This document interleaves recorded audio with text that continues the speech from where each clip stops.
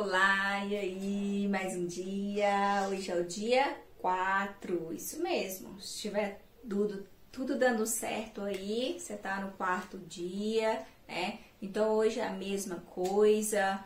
Separou seu horário, horário para você mesma, né? Não é o horário que sobrou, é o horário que você separou, que você fez isso de forma intencional e especial também, né? Então separou seu horário, fazendo a, vai fazer a sua meditação, silenciar a sua mente, ficar tranquila. E mesmo que, que você não silencie, você vai ouvir, ouvir seus pensamentos, ouvir seu coração, seu sentimento, enfim. É um momento você e você mesma, né? Uh, então, como foi escrever a, a carta para sua criança ontem? O que você diria sobre essa experiência? Hum? Como foi essa experiência para você? Que tipo de emoção, que tipo de sensação, de sentimento veio quando você escreveu essa carta? Né? Coloca aí também no seu caderno. E outra coisa, hoje eu quero que você responda uma pergunta.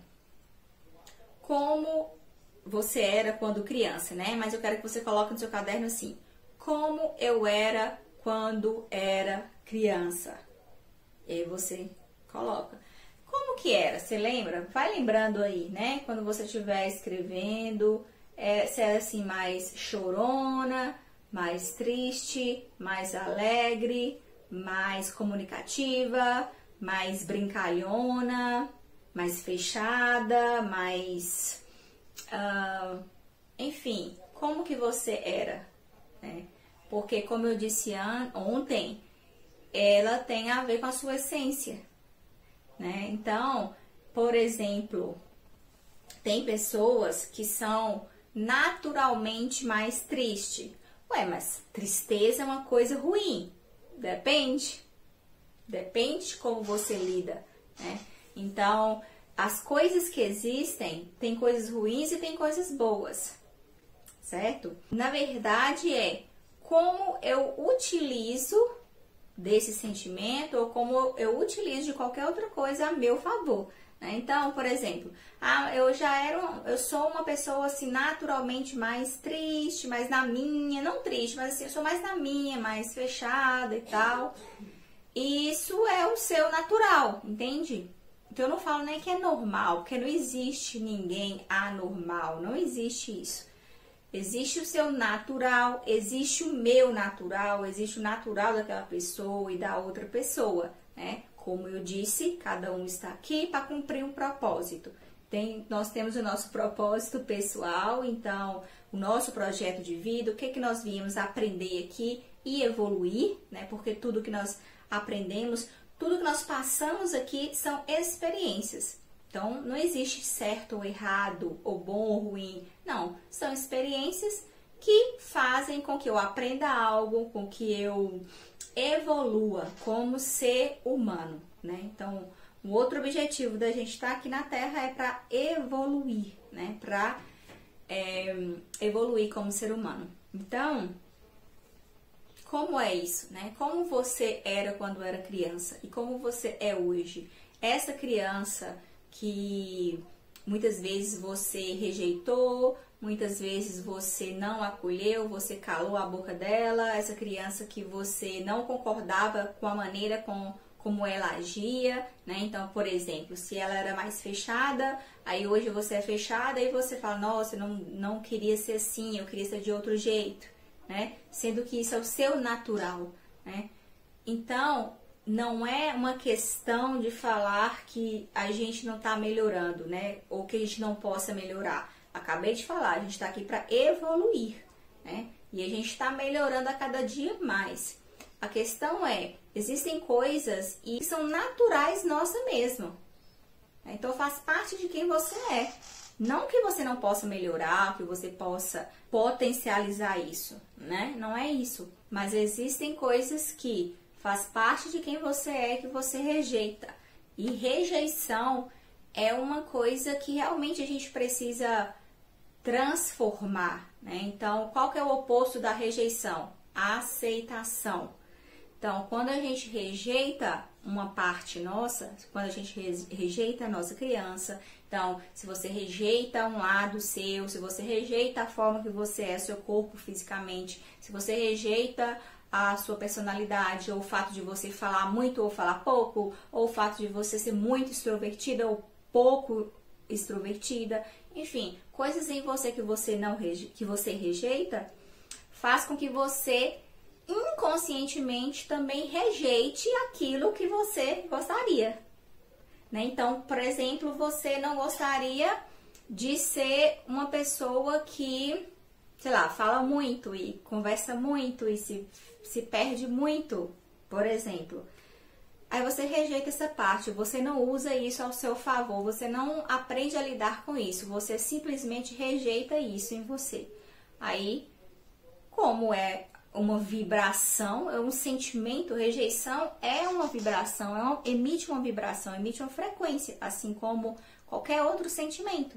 E quando isso ocorre, aí não vai discernir, por exemplo, ah, eu vou rejeitar só essa parte minha, não. Se você vibra rejeição, você rejeita tudo. Inconscientemente você está rejeitando você mesma, né? Se é uma parte sua, é você, mesmo que é só uma parte, mas é você. Rejeita outras pessoas, não aceitam elas como elas são, rejeita a prosperidade, rejeita, enfim, tudo e até mesmo aquilo que você queria atrair, mas você acaba rejeitando inconscientemente, tá?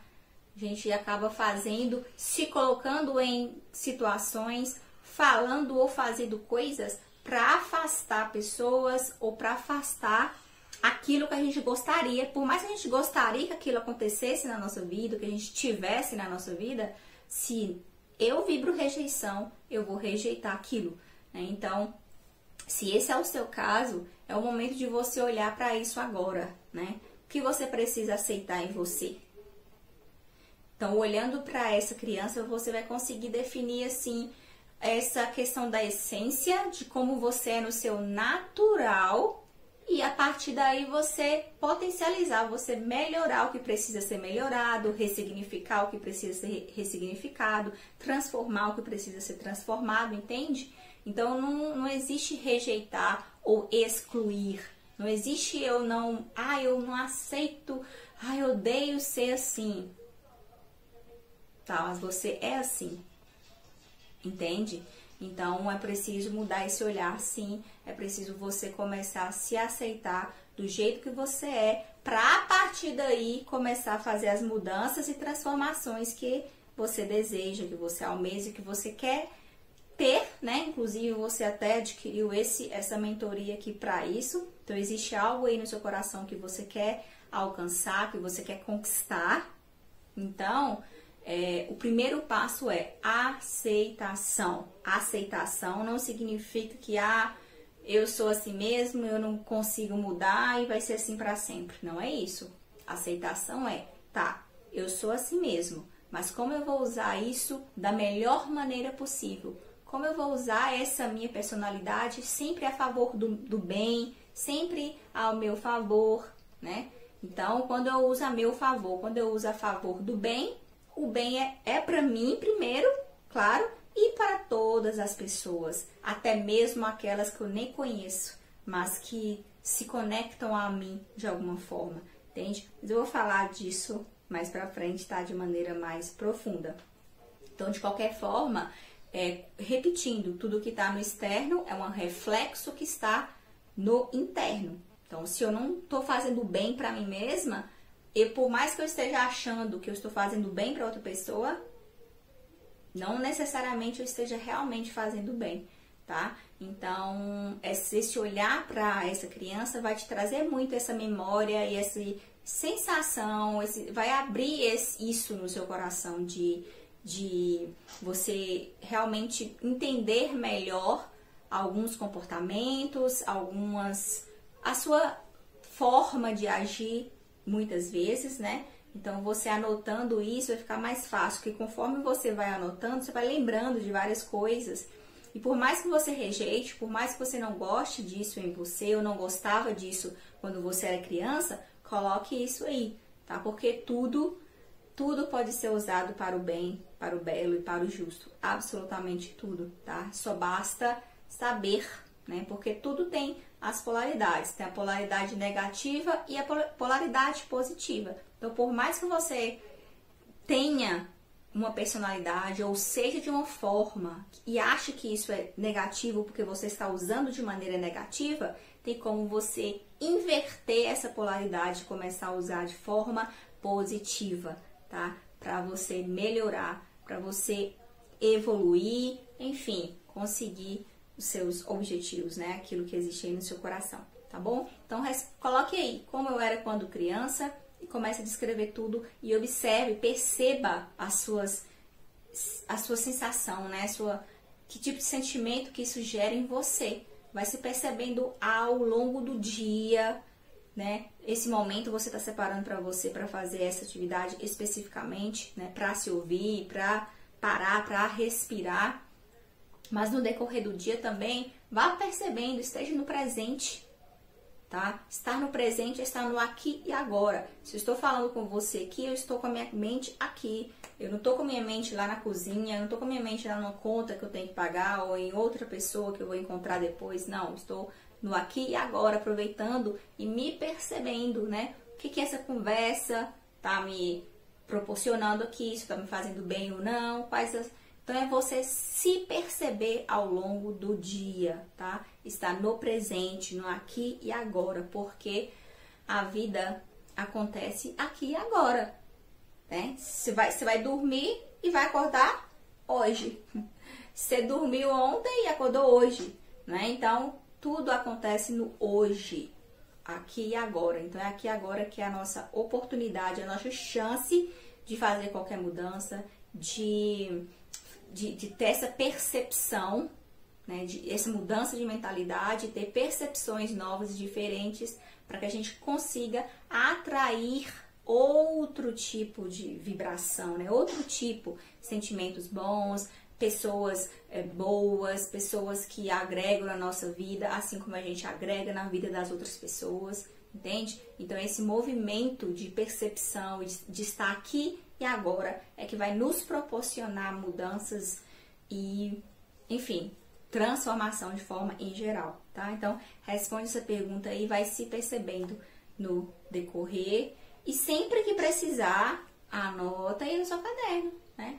Tudo que for referente a você, você percebeu uma coisa nova que você não tinha percebido antes sobre você, coloque aí no seu caderno. Vai ser muito útil, tá bom? Te vejo amanhã.